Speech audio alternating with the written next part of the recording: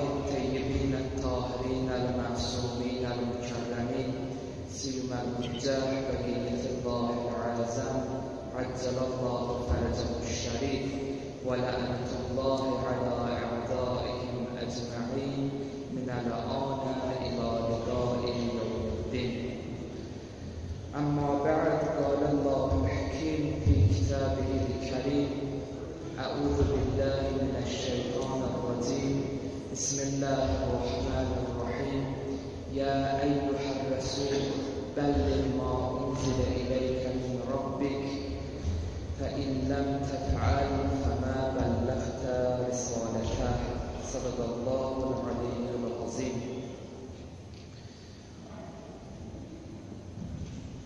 şükür edenlerin, onu tarif edenlerin tarifinin sayının hesabı,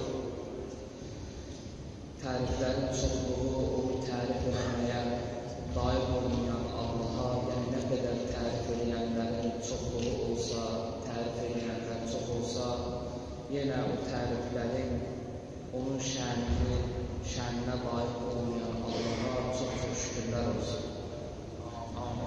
Çox-çox şükürlər olsun ki, bizləri ona qarşı laqiyyətsizliyimizi, ona qarşı yaxşı bəndə olmamağımızı nəzərə almadan, layiqli bəndə olmağımızı nəzərə almadan yenə də bizi ruziləndirir, bizi xeyir işlər görməyə sövq elətdirir. Allahın verək öz Allahına xatir bizi bu dünyadan salih köçənlərdən qərar versin. Amin. Özü bəyəndiyi, nemət verdiyi, əhl-i beyt əleyhissalamın yoluna hidayət edən Allaha şükürlər olsun. Allah bu neməti ölənə qədər bizim əlimizdən almasın. Çox əzəmətli və şərafətli bir gecədir. İslam aləmində, İslam təqvimində Zilhiccə ayının 18-ci gecəsindən 17-ci gecəsindən 18-ci gecə keçən gecə, yəni bu gecə və sabahki gün ən şərafətli bayramdır. Bu gecə bayram axşamıdır. Sabah İslam təqvimində ən dəyərli bayramdır. Bayramların ən yaxşısı. Bayramların ən böyüyüdür. Eylullahul Əkbər. Bütün Allah yanında olan bütün bayramların ən böyüyüdür. Yəni bundan böyük bayram yoxdur. İndi bu mövzumuzda da çalışacaq bu sözü bu sözü ispat edək ki, həqiqətən də bu cürdür. Yəni əslində Əhl-i Beytin sözünün isbatı ehtiyacı yoxdur. Amma olur bəzi insanlar, bəzən düşüncəsi zəif olan insanlar, bəzən kitab oxumayan, savadı olmayan insanlar, bəzi sözlərdə irad bildirirlər, bəzi sözlərdə öz düşüncələrinə əsasən elə bilirlər ki, düz düşünürlər və onlar kimi düşünməyənləri səhv adlandırırlar. Bəzi sözlərdə irad bildirirlər, bəzi sözləri deyirlər ki, siz çox şişirdirsiniz, bəzi məsələləri həddindən artıq şişirdirsiniz. Onlara cavab olaraq biz istat edəcək ki, bugün ki, gün İslam təqvimində ən dəyərli gündür, ən üstün gündür. Əvvəlcə İmam Zaman بالكبير أظنون إن شاء الله huzurunun bir zaman olmasına, bayramının mübarek olmasına, zuhurunun tercihinden uzasın. Allah!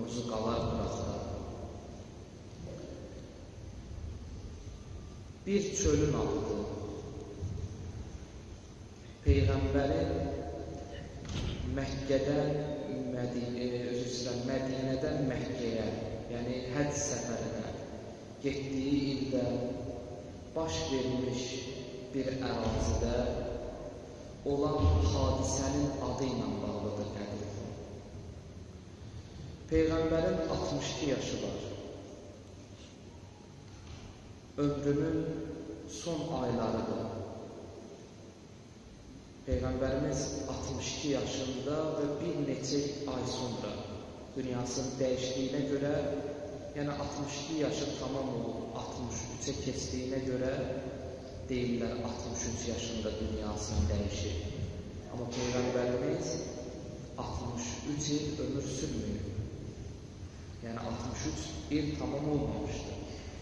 62 yaş və bir neçə ay. Peyğəmbərin 62 yaşı var və ömrünün son ilidir, son ilidir yox, son aylarıdır. Bir neçə aydan sonra Peyğəmbər dünyasını dəyişəcək.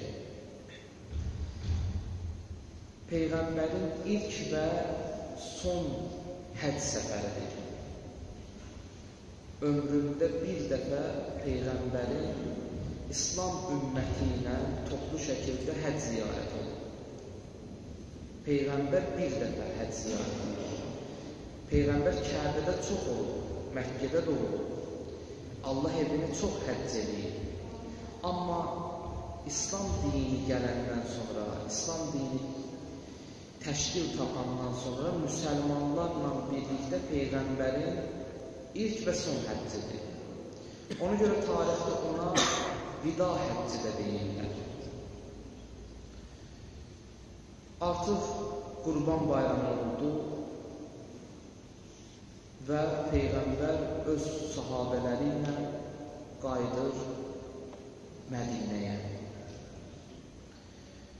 Tarixdə yazırlar ki, ən az yazılan, ən az yazılan rəqəm 90 mindir.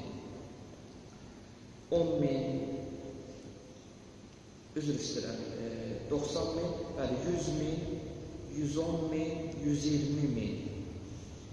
Sonuncu rəqəm bəzi tarixçilər ki, yazırlar 150 min, o mötəbər deyil. Amma 90 mindən 120 min rəvayətləri çox gəlir. Ən azını götürsək 90 min sahabə iştirak edir. Təsəvvür edin, Peyğəmbər elan verdi ki, mən həccə gedirəm. karvan başçısı peyğəmbərdir. İndiki bəzi karvan başçılarımızdan bilirlər ki, bu karvanda zəvvarlara əziyyət yoxdur. Bu karvanda möminləri incitmək yoxdur. Bu karvan kimlərisə aldatmaq üçün İslam pərdəsi adı altında biznes təşkil eləmək üçün qurulmuyor. Karvan başçısı Peyğəmbərdir və hamı istəyir ki, Peyğəmbərlə bir yerdə həcc eləsin və Peyğəmbərlə bir yerdə Kəbəni təvaf eləsin. Kim qoşulmaq istəməz? Kim bu karvanda iştirak eləmək istəməz? Ona görə nə qədər sahabələr istər Mədinədə olsun, istər digər yerlərdə hamısı qoşuldular.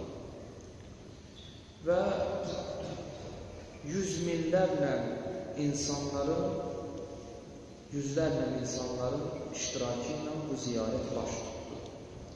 Və Peyğəmbərin tarixində, xahiş edən bu məsələlərə çox diqqətlə qulaq asasınız. İslam tarixində belə bir hadisə, belə bir şəraitli, münasib hadisə olmayıb, əlverişli şərait olmayıb ki, Peyğəmbər insanlara muizə eləsin. Həmçinin Peyğəmbərin ömrünün son aylarıdır. Buna da diqqət edin. Həmişə Peyğəmbər minbər edir, cəmaata muizə edir, nəsiyyət edir, insanları yaxşılığa dəvət edir, pisliklərdən çəkindirir.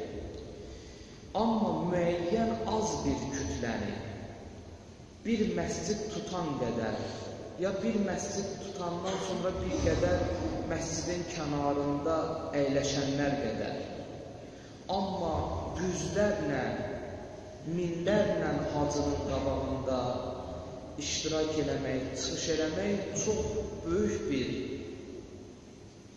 məsələ idi və Allah bu şəraiti seçdi. Allah o günü seçməklə xüsusi bir halı, xüsusi bir dəyəri seçdi ki, yəni eşitməyən qalmasın, bilməyən olmasın. Yəni, həcdən kimlər məhrumdur? Xəstə olan insanlar, o qocalar ki, gələ bilmirlər, ya imkanı olmayan insanlar ki, çox zəif bir təbəqədir, onlara da Peyğəmbər qeyd elədi ki, burada olanların da olmayanlara çatdırması bu məsələni vacibdir. Muhammed Vali Muhammedə salat deyil. Allahümme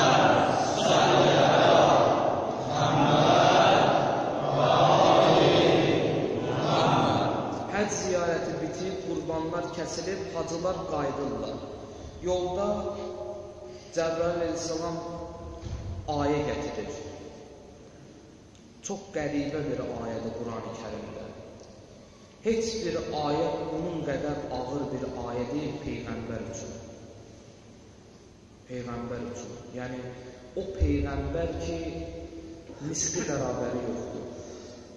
Həm Peyğəmbərlər içərisində, həm insanlar içərisində kainatın ən əşrəf, məxluqatın ən kamil insanıdır.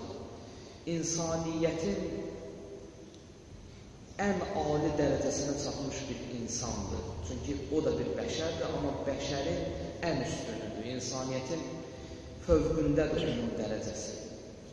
Amma bu ayədə Allah Peyğəmbəri ilə çox qəribə danışır.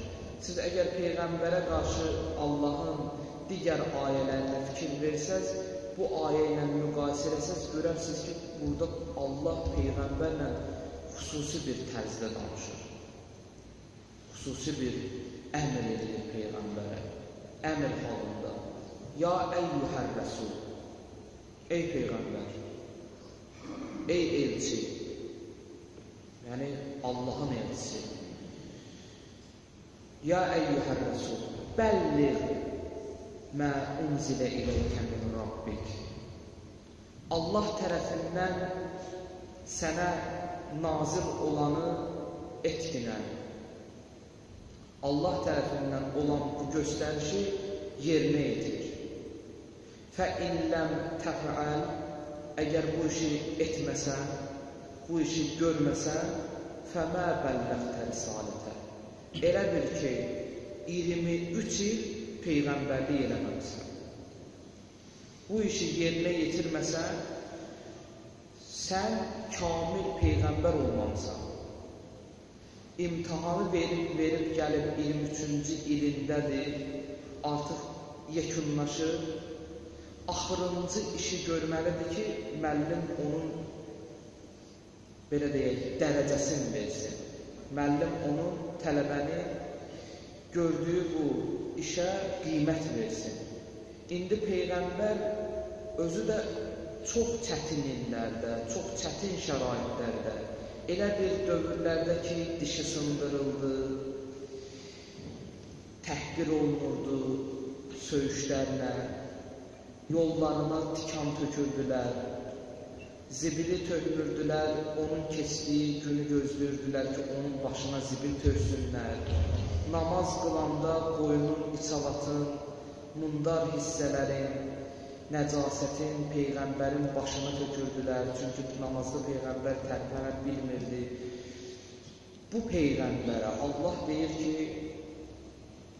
öz yurdundan köçüb, Məkkədən Mədinəyə hicrət edib, doğulduğu, boya başı çatdığı məmləkəti tərk edib İslama görə. Orada da bunu rahat qoymayıblar. Mədinədə hər il bir müharibə, bəzən bir ildə bir neçə müharibə təşkil olunub. Peyğəmbəri rahat qoymayıblar ki, dinini təbliğ eləsin. Yəni bu 23 il asan şəraitdə elə bir gün olmuyor ki, Peyğəmbər belə rahat yatsın, dincəlsin. Yəni, ürəyində bir qayğı, bir dərd olmamış olsun. Ta Məkkənin fəthinə qədər. Hələ bu düşmənlərin, müşriklərin, kafirlərin Peyğəmbərlə mübarizəsi idi. Bir hədisi var, deyir ki, heç bir insana, heç bir Peyğəmbərə edilməyən zülüm mənə edilir. Heç bir Peyğəmbərə edilməyən zülüm mənə edilir. Çünki onlar düşmən idi və düşməndən ancaq pislik gözlənilirdi. Hələ Peyğəmbərin imtihanları qabaqda idi ki, arxasında iqtida edənlər, adını eşidəndə salavat deyənlər, hər gün namazda, namazın təşəhhüdündə ona salam göndərənlər münafiq olacaqlar. Peyğəmbərdən sonra onun ailəsinə, əhl-i zülümlər edəcəklər və bu hadisələrdən də Peyğəmbər xəbərdar idi. Onunla belə İslamın bərqərar olması üçün, İslamın belə deyək, baş e, yaranması, şəraitin İslam hökumətinin bərqərar olunmasına görə, İslam cəmiyyətinin qurulmasına görə onların da üzünə təbəssüm edirdi, onlarla da xoş rəftar edirdi. Peyğəmbərin bir sahabəsi var idi, Hüzeyfə ibn Yəmən. Xanım Zəhranı da qəbrə qoyanlardan, o 7 dənə kişidən biridir. Həzrət Əl-Lisanın da yaxşı dostlarından idi. O, münafiqlə mömin sahabələri tanıyırdı. Yəni bəsirət əhli idi. Peyğəmbərə demişdi, istəsən, e, istəsən sizin o sahabələriniz ki, münafiqdirlər, onları mən sizə tanıtdıraram. Peyğəmbər deyirdi, ehtiyac yoxdur. Peyğəmbər bilirdi, Hüzeyfədən də yaxşı bilirdi, yaxşı tanıyırdı o sahabələri. Amma bəzi məsələlərə görə susurdu. Bəzi məsələlərə görə Peyğəmbər göz yumurdu bəzi işlərə. Və indi bu Peyğəmbər ki, bu qədər əziyyət çəkib, bu qədər çətinlik görüb, xaricdəki düşmən, daxildəki düşmən, buradan da belə şeytanla mübarizə ki, ən böyük düşmənlərdən biri də şeytan idi. Siz elə bilirsiniz ki, şeytan Həzrəti Əyyub Peyğəmbərlə mübarizə mübarizə edirdi, İslam Peyğəmbərindən eləmirdi. Həzrəti İbrahim əleyhissalam İsmail əleyhissalamı qurbangaha aparana qədər İbrahim əleyhissalamdan əl çəkmədi. İslam Peyğəmbərini boş, boşlamışdı, heç nə eləmirdi. Yox. Elə ən böyük mübahisə və mübarizəni İslam peyğəmbərindən eləyir. Çünki bundan böyük peyğəmbər yox idi. Və bu bütün bəşərə gəlmiş bir peyğəmbər idi. Bunun misyası təkcə bir qövm, bir cəmiyyət, bir cəmaat üçün, bir ölkə üçün deyildi, ümumi bəşər, bütün insanlar üçün gəlmişdi. Bunun buna nazil olan kitab bütün insanlar üçün nazil olan kitab idi. Bir xalq üçün, bir millət üçün nazil olan kitab deyildi. Ona görə İslam peyğəmbərin buradan da bir dənə düşməni var idi, bu şeytan idi. Ki şeytanla mübarizə aparırdı. Yəni bununla belə indi Allah ayə nazil edir. Ya əyyuhər rəsul. Ay peyğəmbər, Rəbbin tərəfindən sənə nazil olanı etdilər. Buna əməl elə. Fə illəm təfəəl əgər bu işi etməsən, görməsən, fə mə bəlləqtə risalətə. Peyğəmbərliyin yanılacaq. Elə bil ki, Peyğəmbərliyin naqisdir. Bu, Quran ayəsidir. Allahın ayəsidir. Əgər bu işi görməsən, elə bil ki, Peyğəmbərliyin kamil deyil. Kamil nübüvvət libası ki, mən sənə geyindirmişəm, onu mənə düzgün şəkildə təhvil verə bilməlisən. Və əgər imkanınız olsa, o xütbə uzun bir xütbədir, biz ancaq bəzi hissələrin bəzi məclislərdə deyirik, çox gözəl bir xütbədir. Təsəvvür edin ki, İslam Peyğəmbərinin sonuncu muizəsidir bu qədər xalqın qabağında. Peyğəmbərin sonuncu nəsihətləridir, sonuncu insanlara tövsiyələridir. Ona görə möminlər çalışıb o kitablardakı tərcümə olunub. Mən iki dənəsinin adını qeyd edəcəm. Ola bilsin ki, siz başqa kitablarda görmüş olarsınız, onlardan oxuya bilərsiniz o xütbəni mən bütöv şəkildə iki dənə kitabda görmüşəm. Biri Seyid Kazım Pərpənçi ağanın Qədir günündən Aşuraya dək adında bir kitabdır. Bu kitabda o xütbə var. Biri də Hacı Sultan Buzovnalının Qədirxum həqiqətləri adında kitabında o xütbə çap olunur başdan ayağa o xütbə qeyd olunur. Əzizlər, çox qəribə Peyğəmbərin mucizəsidir. Peyğəmbərin orada elə sözlərdən istifadə edib insanları təəccübləndirir. Ümumiyyətlə, Peyğəmbərə ki, bu göstəriş gəldi, Peyğəmbərə ki, bu göstəriş gəldi, əhl-i beyt hədislərindəndir bu möhtəbər hədisdir ki, Peyğəmbər üç dəfə Cəbrail əleyhissalamdan xahiş elədi ki, bəlkə mən bu işi görmüyüm. İlk dəfə idi ki, İslam Peyğəmbərinin yəni o qədər məsuliyyətli bir şeydir ki, Peyğəmbər üç dəfə Cəbrail əleyhissalamdan xahiş elədi ki, bəlkə bu iş olmasın. Yəni Allahdan xahiş eləsin, bu iş olmasın. Amma üç dəfə Allahdan əmr gəldi. Üç dəfə Allahdan əmr gələndən sonra Peyğəmbər dedi ki, qabağa gedən insanlar xəbər edin, qayıtsınlar. Və arxada olanların da çatmasını gözləyir. Bütün insanlar yığışsınlar, dəvənin üzərində olan yəhərlərdən üst-üstə qoyulub bir minbər hazırlansın. Peyğəmbər uca bir yerə çıxmalıdır ki, onu görsünlər. Amma yenə də çox çətin bir vaxtdır ki, Peyğəmbər neçə nəfərə muizə eləsin ki, onun muizəsini 120 min sahabə eşidə bilsin. Ona görə neçə nəfərdən bir də səsi uca olan insanlardan təyin ediblər. Məsələn deyirəm, bir 200 nəfərdən, 300 nəfərdən bir, bir dənə sahabə dayanır. Peyğəmbər deyir, əyyühən nas. Peyğəmbər dayanır. Ta səsi axırıncı adama qədər ki, çatır, o sahabə başlayır, əyyuhənnas.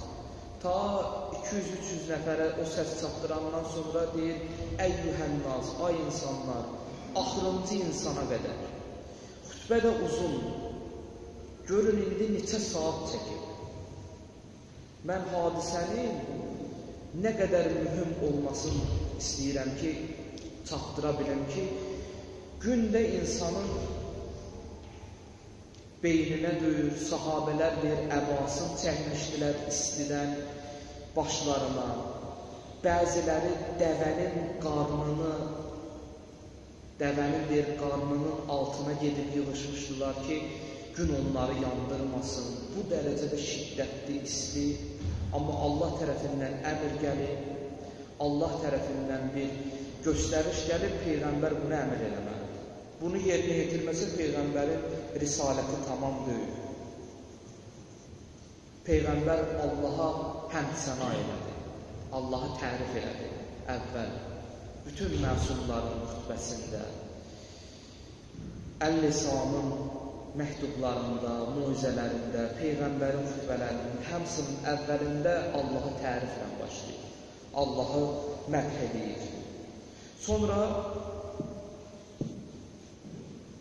bu xütbəni çatdırmaq üçün, mühüm olmasını çatdırmaq üçün deyir, ey insanlar, bilin ki, Allah məni bu işə məmur edib.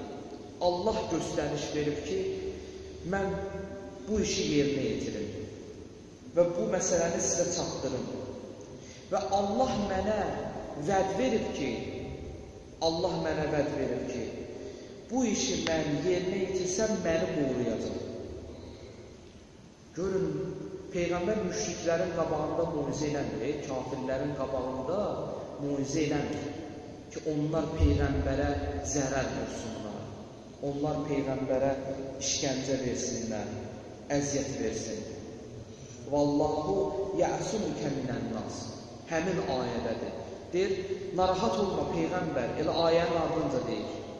Fə illəm təfəl fəmə bəlləğtə risalətə vallahu yə'sümkə minən nas. Narahat olma, Allah insanlardan səni qoruyacaq.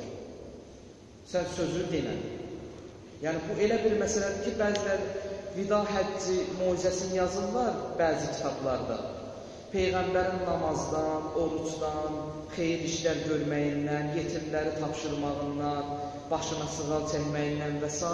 deyirlər ki, mucizə bu qədər idi. O hissələr ki, vacib idi, onları çıxardırlar. Halbuki buna görə Peyğəmbərin dini naqis qala bilməzdi. Peyğəmbər bir ömür gəldiyi gündən namazı tövsiyə edir, orucu tövsiyə edir, ibadəti, yaxşı işləri tövsiyə edir, yetimləri, kimsəsizləri insanlara çatdırır. Ayənin ardında çox qəribədir, deyir, İnnəlləhə lə yəhdil qulməl kafirin. Allah kafir qövmü, kafir cəmatı hidayət eləməz. Sən denən, Allah buyurur ki, sənin arxanda mən dayanmışam. İnsanların şərrindən, pisliyindən mən səni qoruyaram. O insanlar ki, yəni sənin sözündən çıxacaqlar, kafirdirlər, Allah kafir tayfanı da doğru yola hidayət eləməz. Peyğəmbər buyurur, Allah mənə bunu göstəriş verib, ona görə mən sizə deyirəm. Peyğəmbər üç dəfə təkiddən sonra bunu deyir. Demək istəmir. Çünki hələ cəmiyyət ona hazır deyildi ki, Əli Lisanın vilayətini qəbul eləsinlər. Bu hadisədən keçib 14 əsr yenə də bugün cəmiyyət Əli Lisanın vilayət məsələsini qəbul eləmək istəmirlər. Bugünə qədər bu mətləblə mübarizə aparırlar. Bu günə qədər əli lisanından danışanda bəzi insanların özlərindən asılı deyil, xətirlərinə dəyir. Bəzi insanların özündən asılı inciyirlər. Əli lisanı görən gözləri yoxdur. Lisanından danışanda da deyirlər, çox danışır.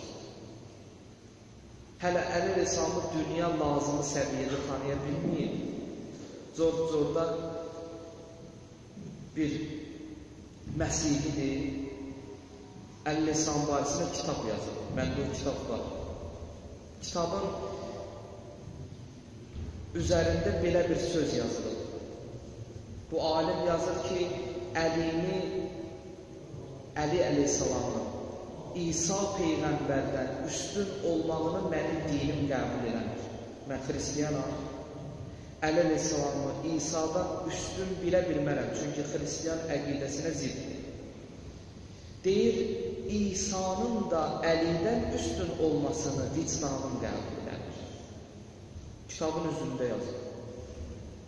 Əl-Lisan barəsində təhqiqat aparıb, araşdırma aparıb deyir ki, vicdanın qəbul edə bilmir ki, Əli, İsa əleyhissalam Əlidən üstündür. Amma dinim də qəbul eləmir. Hələ lazımı şəkildə insanlar əleyhissalamı tanıya bilməyirlər. Peyğəmbər dedi ki, mən kuntu mevla və həzə əlimun mevla. Əleyhissalamın əlin qaldırdı. Dedi, mən kimin mövlasıyamsa, bu Əli də onun mövlasıdır. Baxın, Peyğəmbər birinci özün tanıtdırır, sonra əl-lisanın vilayəti. Deyir, ay insanlar, mən kimin mövlasıyamsa, əli onun mövlasıdır. Çünki Peyğəmbəri əgər bir insan Peyğəmbər bilsəydi, əli lisanı da vilayətin qəbul eləmək onun üçün asan olardı. Ona görə insanların, bugün biz deyirik ki, əli lisan məzmundur, Əl-Əlisanın vilayəti düzgün tanıtdıra, tanıtdırıla bilməyib, ondan qabaq Peyğəmbər məzmundur. Hələ Peyğəmbər məzmunundur ona görə ki, Peyğəmbəri hələ qəbul eləmirdilər bu insanlar. Ona görə onlardan biri çıxdı üzə, dedi ki, bu nədir? sənin özünü qəbul elədik, indi əmoğlunu istəyirsən bizə rəhbər təyin edəsən. De görüm, bu sənin öz göstərişindir, ya Allah tərəfindən sənə təqdim olunur. Dedi ki, bu Allah tərəfindən mənə əmr olunur. Dedi, əgər Allah tərəfindən sənə əmr olunmuyubsa, Yox, üzr istəyirəm. Əgər Allah tərəfindən sənə əmr olunsa, onda bir dənə daş gəlsin, mənim başıma düşsün. Yəni, mən inanmıram. Əgər bu Allah tərəfindən təyin olsa, bu sənin öz işindir. Peyğəmbəri orada təhqir elədi, məsvərə elədi. Dedi, bu sənin öz oyunlarındır. Özünü bizə rəhbər eləmişdin, indi də istəyirsən ki, əmin olduğunu rəhbər eləyəsən. Əgər bu sənin Öz oyunudursa heç. Yox, əgər doğrudan deyirsən ki, hələ Peyğəmbəri yalançılıqda da ittiham edir. Əgər doğrudan deyirsən ki, Allah tərəfindən əmr olunanda, onda Allah mənim elə burada cəzamı versin. Mənim başıma bir daş salsın. Quran-ı kərimdə ayədir, Məarif surəsinin ilk ayələri ki, o insan özü özünə ölüm istədir, özü özünə bəla istədir. Allah da heç əzabı gecikdirmədi. Yüzlərlə sahabənin önündə elə onun başına daş saldı. Cəhənnəmə vasil oldu. Yəni, bu ümmət hələ Peyğəmbəri layiqli tanımırdılar. Hələ bu ümmət Peyğəmbərin vilayətini düzgün tanımırdılar. Ona görə Əli lisanından, Əli lisanın məzlumluğundan biz danışırıq. İnsanların problemi birinci elə Peyğəmbərin peyğəmbərliyini düzgün tanımamağında idi. Onlar elə bildi ki, bu da irsi hakimiyyətdir. Peyğəmbər kimsə təyin edib özündən sonra, o da öz oğlunu, o da öz oğlunu və s. Onlar başa düşmürdülər ki, Peyğəmbərin danışdığı vəhiy idi. Və mə yəntiqu və mə yəntiqu anil hava. Peyğəmbər özündən söz danışmır. Peyğəmbərin danışdıqları vəhiy idi. Allahın sözüdür peyğəmbərin sözü. Peyğəmbər öz nəfsindən söz demir. İn huve vəhyun yuha. Onun danışdıqları ancaq Allahın vəhiyidir. Ancaq Allahın sözləridir. Qənimət bölünür, müharibə qutarıb, biri gəlir, deyir ki, düzgündür. Biri gəlir, deyir ki, ədalətli bölünür. Peyğəmbər deyir ki, ədaləti mən sənə öyrətmişəm. sən ədalət nə olduğunu bilmirdin, mən sizə ədaləti gətirmişəm. Görün, bu Peyğəmbər nə qədər məzlum idi. Mən də ədalətli olmasam, onda kimə deyə bilərəm ki, ədalətli ol? Yəni, görün, ona görə Peyğəmbər Allah deyir ki, sən denə. Eləyə bilərdi ki, Allah bu, bunu ayə şəklində elə qərar verərdi. Quran-ı kərimdə də ayə olardı, bugün də problem olmazdı. Elə əl lisanın adını da yazardı. Deyərdi ki, bax, bu Peyğəmbərdən sonra imamdır. Daha nə ixtilaf qalardı, nə problem, nə məzhəblər, nə təriqətlər. Amma istəyir ki, insanlar imtihan olunsunlar. İstəyir ki, insanlar burada saf-çürük olsunlar. Yaxşı ilə pis ayırt olunsun. Peyğəmbəri həqiqi qəbul edənlərlə düzgün qəbul eləməyənlər təmizlənsin. Ona görə irtəddən nas illa səlasə. Günhan müəllim, irtəddən nas. Üç nəfərdən başqa hamı dindən çıxdı. Demək, Peyğəmbər, sən ki deyirsən, mən kuntu mola, mən kimin mövlasıyam, sən üç nəfərdən başqa heç kəsin mövlası deyilsən. Demək, Peyğəmbəri yalnız 3-4 nəfər, sonradan da ki sayları artdı, 7-8 nəfər oldu, sonradan da bəziləri qayıtdılar. Demək, 120 min sahabənin içərisində bunlar həqiqətən Peyğəmbəri düzgün qəbul edirdilər. Ona görə Peyğəmbər də bu cəmiyyəti yaxşı tanıyırdı. Peyğəmbər də bilirdi, ona görə Peyğəmbər tərəddüd edirdi. Allahdan istəyirdi ki, bəlkə deməyək, çünki ixtilafa səbəb ola bilər. Çünki ixtilaf yarana bilər. Amma Allah deyir, denən. Allah əmr verir ki, denən. Qoy yaxşı ilə pis ayrı olunsun. Qoy doğrularla, düzgün iman gətirənlərlə saxtakar, o insanlar ki, münafiqdirlər, din pərdəsi altında gəlirlər, hətta səni iqtida edirlər Peyğəmbər, qoy onların iç üzü açılsın. Sizə təəccüblü gəlmir ki, əllisanı niyə gəldilər? İki nəfər birinci təbrik elədi. İç üzlərinin açılmamasına görə. Bəxqin, bəxqin, ya Əli təbrik elədilər əllisanı. Ki, zahirən güya bunlar da sevinmişdilər. Yəni, zahirən bunlar da, hə, nə gözəl, əntə mövla, sən bizim mövla olsan, kullə müminin vəl mümin bütün möminlərin və möminələrin hamısının ağası sənsən. Maşallah, əlhəmdülillah. Güya sevinirdilər, amma həmin gün onlar əgər onların xisləti üzə çıxsaydı, bilinərdi ki, onlardan çox narahat olan yox idi. Həm də Peyğəmbər keçmiş zamanlarda görmüşdü. Hudeybiyyə sülhündə görmüşdü ki, bunlar ixtilaf salmışdılar. Peyğəmbər təsəvvür edin, deyir ki, getdik həc ziyarətinə. Peyğəmbər gedəndə həc ziyarətinə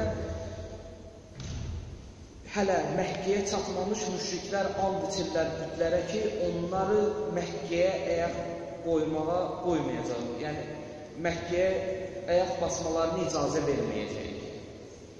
And içirlər, qılıclarını qaldırırlar döyüşmək üçün, əvvəlcə nümayəndə göndərirlər ki, görək bunların fikri nədir? Gəlir o nümayəndə, Peyğəmbərlə danışır, Peyğəmbər belə qərara gəlir, orada Hüdeybiyyə sülhü bağlanır, uzun bir əhvalatdır. Axır bu qərara gəlirlər ki, Peyğəmbər qayıtmalıdır. Baxın, orada da bəzilərinin iç yüzü ortaya çıxır. İkinci dedi ki, mən orada onun Peyğəmbərliyinə şəkk eləmişdim. Onu çəkdikləri filmdə də, serialda da göstəriblər. Çünki bütün tarixlərdə yazırlar ki, Orada Peyğəmbərin başladılar bir-bir bəzi insanlar bəs bu il həccə gedirdi. Onda demək bu həqiqi Peyğəmbər deyilmiş. Onların da başında dayanırdı ki, insanları ixtilafa saldı. Sonradan gəldi Peyğəmbər kağız qələm istəyəndə də can verəndə axır saatlarında dedi ki, həsbuna kitabullah, Allahın kitabı bizə bəsdir. Bu kişi sayaq deyir. Nəuzübillah. Yəni, Peyğəmbərin hörməti aradan getmişdi. Nə ilə vururdu Peyğəmbəri? Allahın kitabınla. Və bu gün də o əqidədə olan insanlar var. Quran-ı Kərimdə yazılır, Qurandan ayə gətirir. Quranda olması qəbul edilmir. Bu ideologiyaya malik olan insanlar da o beynin məhsullarıdır. Ki onlar əslində Peyğəmbərin özünə də qarşı çıxırdılar. Ona görə Allah deyir ki, burada təkcə Əli Lisamın vilayətini qəbul edənlər çıxmayacaq ortaya. Hələ bir özün Əli Lisamın vilayətindən qabaq denən mən kuntu mövla, kim məni mövla bilir? Hələ görək sənin neçə nəfər mövla bilir? Mən kuntu mövla. Neçə nəfər Peyğəmbəri Peyğəmbər kimi düzgün tanıyırdı? Və haza sonra Əl-Lisan. Sonra Əl-Lisanı denən ki, mən kuntu mövlə və hazə aliyyum. Əli də onun mövlasıdır. Elə az bir dəstənin də mövlası oldu Əl-Lisan. Peyğəmbərdən sonra az bir insan Əl-Lisanın vilayətini qəbul elədi. Allah ruhunu şad eləsin. Əllamə Əmini 20 cilt kitab yazır. Əl-Qədir. Bu kişi oturub 30 ilin ömrünün 30 ilini Əl-Qədir yazmağa həsr edir. Minbər gedir Qədirxon, möminlər WhatsApp-dadır. İnternetdədir. Bəziləri bir-birindən danışır. Çünki iman yoxdur. İman zəifdir. Yəni, hədis eşitməyə səbir çatmır. Ona deyirdi, günahla qarşılaşanda təqva qoruna bilmir. Amma 30 il dizini qatdalayıb bu kişi deyir 10 min dənə kitab oxudum. 10 min. İnanın, danışıram, xəcalət çəkirəm. Görürsən, mən ömrümdə neçə kitab oxumuşam. 100 min kitabdan deyir, özün xatirələrində yazır ki, 100 min kitaba baxmışam. Yəni, bəzi məsələlər var idi ki, hətta ölkələr, onun qəşək şirin əhvalatları var ki, tarixdə də yazılır. Bəzi ölkələrə gedib, çünki indiki zamanda kitabxanalar bu qədər əlyazmalar olurdu, bəzi ölkələrdə olurdu, gedirdi çətinliklə tap. İndi internetdə bir dənə axtarış versən, bütün məlumatlar gəlir. Bir dənə kitabı tapmaq üçün ki, bu hədisi eşidir ki, əhl-i sünnənin filan alimində var, gedib onun kitabını öyrənmək üçün bəzən qapılarını döyüb, xaiş edib, onlardan xaiş edib. Elə vaxt olub, deyib ki, bir gün icazə verin kitabxanada yatıb, amma mən bəzi mətləbləri yazmalıyam. 110 dənə Peyğəmbərin sahabələrindən bu kitabda bir dənə şiə mənbəsi yoxdur. 20 cilddir və kitabxanamızda toz basır, heç oxuyan da yoxdur. Əli, ömrümüz bu kişilər sərf edildi İslama. Biz hələ Peyğəmbərin məsumlarla üzbəüz gəlməyə ləyaqətimiz yoxdur. Heç bu kişilərlə qiyamət günü üzbəüz gələndə xəcalət çəkəcək ki, bunlar İslam üçün nə eləyib, əl lisamın yolunda nə eləyib, biz nə eləmişik. 110 dənə Peyğəmbərin sahabəsindən sənədli, subutlu, əhl-i sünnə mənbələrindən o kitabda hədisləri nəql edib. 84 dənə tabeindən, tabein o kəslərdir ki, sahabəli görənlərdir. Peyğəmbəri görməyiblər birbaşa, sahabəni görənlərə tabein deyirlər. 84 dənə də sahabədən o kitabda bir-bir mənbəsinə kimi, hansı kitabda, özü də eşitdikləri mənbə deyil, bir-bir oturub onları səhifəsinə kimi yazır. Biz nə eləmişik? Nə qədər insan ömrün çayxanada səsir edir. Nə qədər insan ömrün sosial şəbəkələrdə həsr edir. Faydalı da olsa, heç olmasa fayda üçün istifadə eləsə, bunu xeyr üçün də yaratmayıblar. Elə müsəlmanların başını qatmaq üçün yaratırlar. Ki, müsəlmanlar elə oyun oynasınlar, iqra oynasınlar, sosial şəbəkədə özlərini çəksinlər, qəribə-qəribə şəkillər paylaşsınlar, hicablı xanımların adlı bir qədər də bəzi formalarda geçsin. Düşmənə belə dindarlar sərf edir. Qarşıdan məhərrəmlik gəlir, bir neçə gündür bir dənə mövzu barəsində nə qədər möminlər mübahisə edirlər, baş yarmaq barəsində. Ki, hər il nə qədər insanlar bu bidət əməli yerinə yetirirlər. Təəssüflər olsun ki, hətta müdafiəsinə qalxırlar. Bəzən o qədər müdafiə edirlər ki, özü də yoxdur ki, xəbəri yoxdur ki, dindən çıxır. Heç Quran oxumağı o qədər tövsiyə eləmir Elçin müəllim. Ancaq elə bu məsələlərin üstündə o qədər müdafiəyə qalxırlar, o qədər çalışırlar ki, bunu sübut eləsinlər ki, olsun. Heç birincisi nə Peyğəmbərin, nə məsum imamın dövründə olmuyor. Peyğəmbər və məsum imamın dövründə olmayan əməl də bidətdir, dində yenilikdir. Tarixini mən araşdırdım, gedib Səfəvilər dövrünə çatıb. Bəziləri də bəzi alimlərdən stat gətirirlər ki, qədim alimlər də buna icazə veriblər. O alimlərin də dövrü 500 ildən artığı gedib çıxmır. Bilirsiniz, bu ayın özü hardan gəlib? Xristiyanlardan. Qafqaz xristiyanlarından səfəvlər görürlər. Hər il xas günündə, günü bu gündə internetdə onların da videoları var. Başların yarırlar, uşaqların başını yarırlar. Yəni onlar deyirlər ki, İsa peyğəmbərə işgəncələr verib, çarmıxa çəkilib öz əllərin mismarladırlar ki, o işgəncələri onlar da datsınlar və s. Yəni bizdə də bəzi insanlar bu əməli sünnət adı ilə yerinə yetirir. Savab adı ilə. Deyirəm indi biri başını yardı, elə o qanla da öldü. Biri yazır ki, şəhid oldu. Bu nə təfəkkürdür, bu nə İslamdır, bu nə düşüncədir. Bu İmam Hüseyin Əsəlamın hədəfindən insanları yayındırmaqdır. Bu İmam Hüseyin Əsəlamın hədəflərinin aradan getməsinə səbəb olmaqdır. Yadınızda bir dənə şey qalsın, məhərrəmlik söhbətlərdə inşallah vaxt gələr bu barədə danışarıq bir dəfə ətraflı. Sovet dövründə məscidlər ambar idi, stadion idi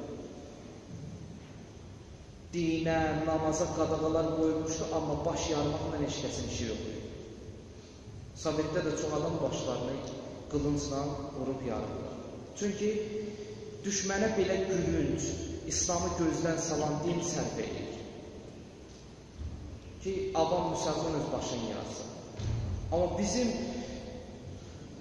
görkəmli müştəhidlərimiz, o müştəhidlərimiz ki, mərci tədbirdirlər, mötə, mötəbər, rəhbər müəzzəm və digər gözəl və savadlı İslam üçün ən çox əziyyət çəkən, İslama hamıdan çox qayğıkeş olan, İslamı hamıdan çox sevən, bəsirət sahibi olan müştəhidlərimiz deyir, bu işdən Allahın razılığı yoxdur. Bu işdə Allahın bərəkəti yoxdur. Ona görə də qədirxun həqiqətlərin insanlar gərək çatdırsınlar. Baxın, İmam Rıza Əleyhisselamdan hədis var. İmam Rıza Əleyhisselam buyurur öz sahabəsinə, Əbu Nəsilin oğluna, deyir ki, bugünün əməlləri barəsində, deyir, harada olursan, ol özü Həzrət Əlinin qəbrinə çatdır. Özü yetir Əl-Lisanın o gün qəbrinə. İndi mümkündür, çətindir, bizim ölkədə çox uzaqdır. Ən azından ziyarətnaməsi, əmin, əmin Allah ziyarəti oxumaqla eləyə bilərlər ki, əl-lisanı az olsa ziyarət eləsinlər. Təkid edib İmam Rıza Əleyhisselam ki, bu gün möminlərə ehsan edin. Bu gün möminlərə təam verin, ehsan edin. Niyə? Çünki Heç bir gün barəsində əhl-beyt deməyib ki, möminlərə ehsan edin, təam verin. Sədəqə barəsində çoxlu hədislər var, amma bu günü xüsusi bayram şəklində keçirməyə təkid var. Silə-i rəhm edin, hədisdə var, qohumları ziyarət edin, uşaqları sevindirin, aləmizlə, ən gözəl paltarınızı hədislərdə var ki, qədrqın günü deyin. Ən gözəl paltarınızı, ən gözəl ətirləri bulun İldə dörd gün var ki, oruç tutmaq 60 ilin orucuna bərabərdir, bir də Qədir Xun bayramı günüdür. Sabahki günün orucu 60 ilin orucuna bərabərdir. Əli lisanından bir hədis var, ağa buyurur ki, kim, kim, Qədir Xun ağanın özündən də hədis. Qədir Xun əl lisanın məzlum hallarından biri budur ki, əl lisan xəlifə olandan sonra bir gün moizə elədi. O da Seyyid Kazım Pərvənci, Allah onu şad eləsin. O kitabda yazır. Deyir, bəzi sahabələr hələ həyatda idi. Bəzi sahabələr həyatda idi. Əl lisan çıxdı, moizə elədi. Bir-bir bəzilərinin adını çəkdi. Dedi filan ki, sən oradaydın, niyə dillənmirsən? Qədilxun barəsində onlara sual verdi ki, Peyğəmbərin göstərişi yadınızdadır. Peyğəmbər göstəriş, Peyğəmbər həmin gün ki, mənim əlimi qaldırmışdı, fə illəm təfəl, fəmə bəlləxtə risalətə. Peyğəmbər bunu eləməsən, Peyğəmbərliyi eləməmisən. Bəzilər deyir ki, əgər bunu deməsən, Peyğəmbər 23 ildə Peyğəmbər Əl-Lisanın vilayətin cəmaata deyirdi. Təzə Peyğəmbər seçilib, qohumları qorxud ayəsi gələndən sonraki məclis təşkil olundu. Əl-Lisanın onda 11-12 yaşı var idi. İlk dəfə orada demişdi. İlk dəfə orada dedi. Öz qohumlarını Bəni Haşimi yığdı, qonaqlıq verəndə birinci məclisdə Əbu Ləhəb dağıtdı məclisi, Peyğəmbərin əmsi. İkinci dəfə məclis quruldu. Əl-Lisandan Peyğəmbər öz əlləri ilə yemək hazırlamışdılar. Süddən yemək hazırlamışdılar. İkinci dəfə o məclis quruldu, Peyğəmbər Əbu Ləhəbi dəvət eləmədi. O fitnəkarı. Orada yenə qəbul eləmədilər və bəzi böyüklər ki, çıxıb gedəndə Əbu Talibə hətta məsxərə elədilər. Dedilər, Əbu Talib, maşallah bugündən Əli sənin mövlan oldu, oğlun sənin ağan oldu. Çünki Peyğəmbər dedi ki, kim əgər mənim risalətimi, Peyğəmbərliyimi qəbul eləsə, məndən sonra mənim vəsiyim, canişinim, məndən sonra müsəlmanların rəhbəridir, əl lisan üç dəfə yana qalxdı. Peyğəmbər dedi, otur. Hər dəfəsində deyirdi, otur. Üçüncü dəfə orada əl lisanı təqdim elədi. Dedi ki, Əli mənim canişinim, vəsif. Hələ onda Əli Lisanın 12 yaşı var idi. 12 yaşından bu yana Peyğəmbər səfərlər edirdi, Peyğəmbər muizələr edirdi, tez-tez deyirdi, mənlə Əlinin misalı Harunla Musanın misalı kimidir, Əli məndən sonra müsəlmanların rəhbəridir, mən kimə yaxınamsa Əli də müsəlmanlara o qədər yaxındır, canı canımdandır, qanı qanımdandır, sümüyü sümüyündəndir, məni sevən onu sevib, mənə zülm, ona zülm eləyən mənə zülm eləyib, onu sevən məni sevib. Bu təbirdə Peyğəmbərdən yüzlərlə hədislər var. Peyğəmbər onsuz deyirdi. Yəni ayəni səhv tərcümə ediblər ki, əgər deməsən, Peyğəmbərliyi yerinə yetirmə, yerinə yetirməmsən. Allah demir deməsən, onsuz Peyğəmbər 23 il deyirdi. Artıq demək qutarmışdı, deməkdən keçmişdi. İndi əyanı göstərmək lazım idi. Təfəəl feildir, fəələdəndir. Hərəkət lazım idi. Artıq əl lisanın qolunu qaldırdı, dedi, mən kuntu mola və haza əlinin mola. Deyir, o qədər əl lisanın qolu qalxdı ki, əl lisanın qolunun altı görsəndi. Yəni, Peyğəmbər o qədər qaldırdı əl lisanın qolunu. Görməyənlər də şahid olsun. İndi Əl-Lisan minbər eləyir, deyir ki, Qədirxum günü yadınızdadır, susublar. Bir-bir ad çəkir. Deyir, filan kəs, sən ki oradaydın, deyir, mənim qulağım zəif idi, mən eşitməmişdim. Biri deyir ki, mən eşidirdim, amma bəzi kəlmələr var, yadımdan çıxır. Hətta ora qədər bəziləri öz xislətlərin büruzə verirdi. Ora qədər Peyğəmbər müəllim moizə elədiyi vaxt bir-bir əl lisanın qolunu qaldırandan sonra bəlkə də bu tarixi çoxlarınız eşitməmisiniz. Əl lisanın elə ki qolun qaldırdı, bəzi sahabilər elə durub oradan çıxıb getdilər. Gördülər ki, əl lisanı Peyğəmbər təyin edir, dedilər yenə başladı əlini tərifləməyə. Yenə başladı Əlidən danışmağa çıxdılar, getdilər. Elçi mən xəbərdarlıq edir ki, çox danışmışam. Həmişə kimi. Salvat deyir Peyğəmbər var. Peyğəmbərə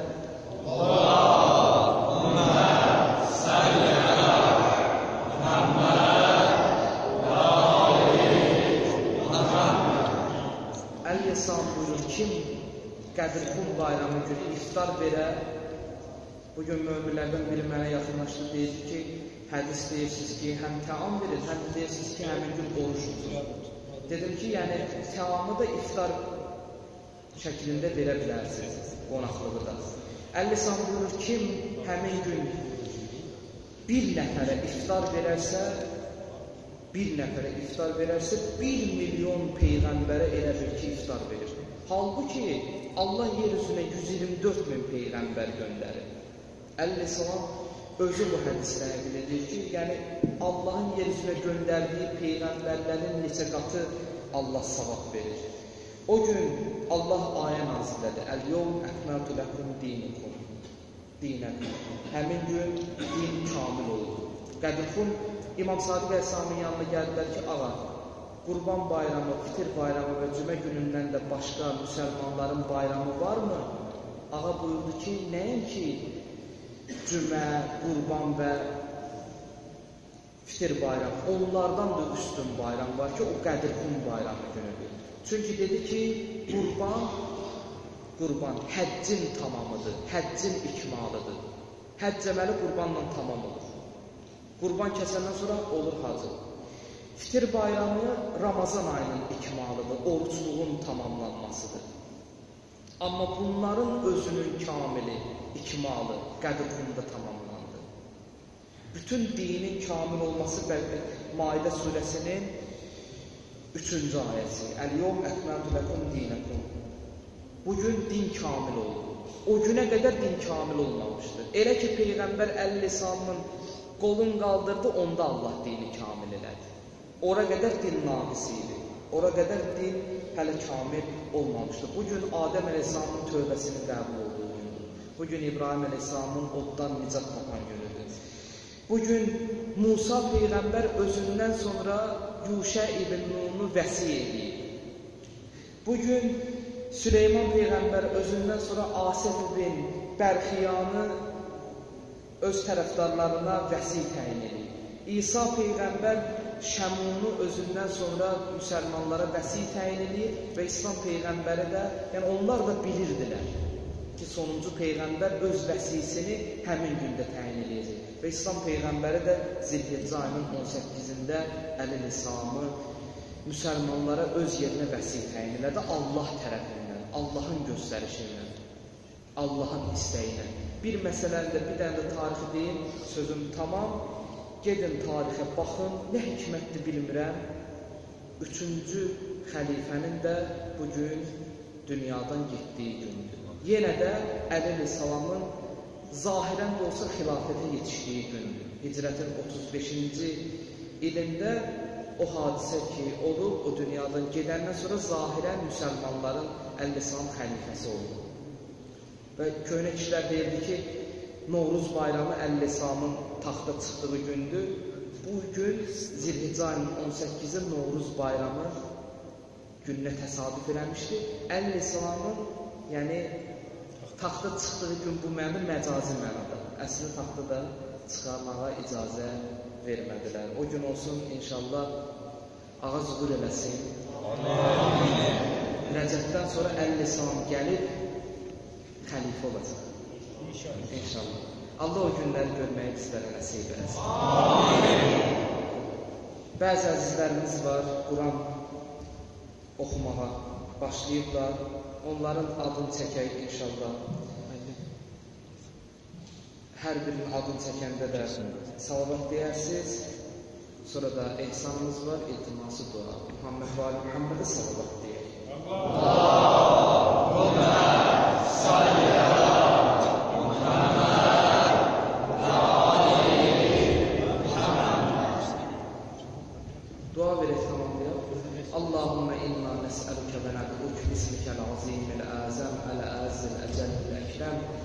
بحق أمير المؤمنين يا الله يا الله يا الله يا الله يا الله يا الله يا الله يا الله يا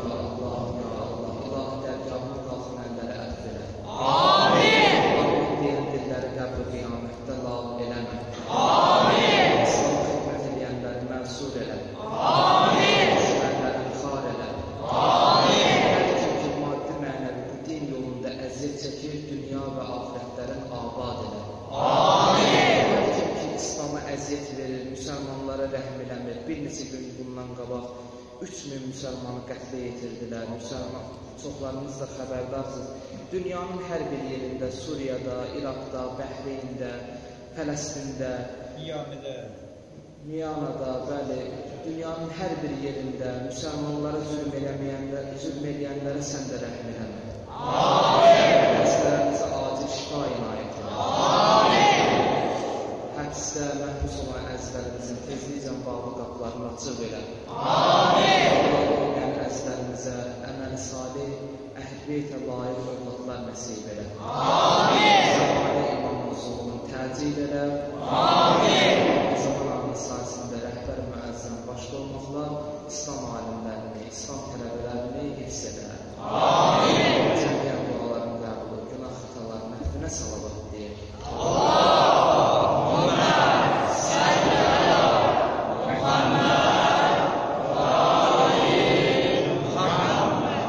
Bir neçə dəqiqə səbr edin, çox yormuşam sizi, istəyirəm. Bir neçə dəqiqə səbr edin inşallah əzizlərimizə Quranı təqdim eləyək, sonra inşallah iltiması dua.